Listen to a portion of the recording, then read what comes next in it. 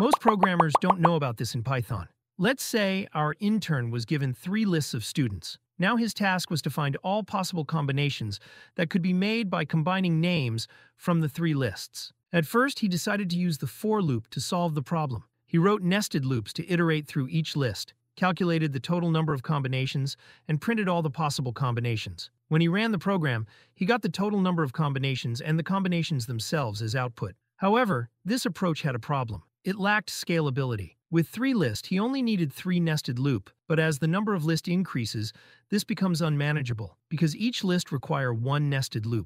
This will make the code harder to read, write, and maintain. To overcome this, we can use the product function from the itertools module. By using the product, we simply pass all the three lists as arguments. The product function generates all possible combinations efficiently. Finally, we convert the result into a list. When the intern ran the program using this method, he got the same result.